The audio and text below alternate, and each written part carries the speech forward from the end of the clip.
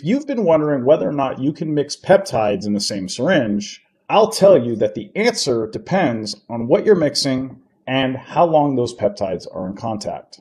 So the way that I look at it is there are two completely different scenarios here. First, drawing peptides into a syringe and injecting immediately versus second, storing peptides together for hours or days after they've been reconstituted. The key difference here is that time is the critical factor.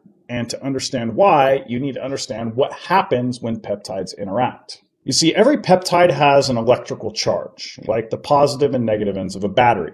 And when you mix peptides together, these charges interact. Opposite charges attract and stick together.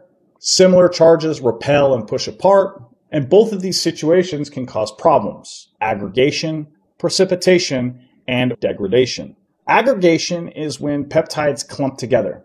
Think of peptide molecules as Legos that start sticking together into bigger clumps. Precipitation is when those clumps get so big that they fall out of the solution. So you'll see cloudiness or particles in your vial. Once this happens, the peptides are completely ruined. And degradation is when the peptide structure itself breaks down. Once the structure changes, the peptide just completely stops working. All three of these situations require time. So for immediate injection, you're not giving it enough time for those charges to interact and create any problems. So rule of thumb here, in most cases, injecting them in the same syringe is okay.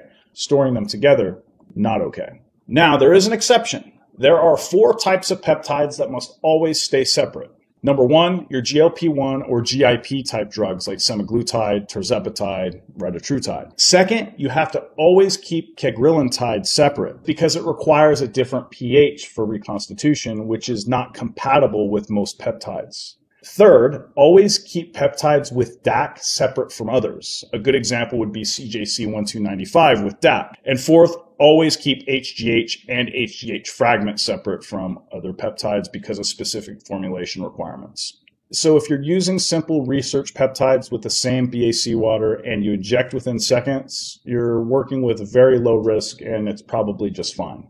But avoid mixing those four categories and never store mixed peptides after they've been reconstituted. Now, if you are looking for more information on peptide dosage, research, and safe sources, there is a link to my free Skool community in the description below. Or if you're on Instagram and Facebook, you can just comment the word Skool with a K and I'll DM you an invite. And if this was helpful for you, make sure you share the video. Thank you.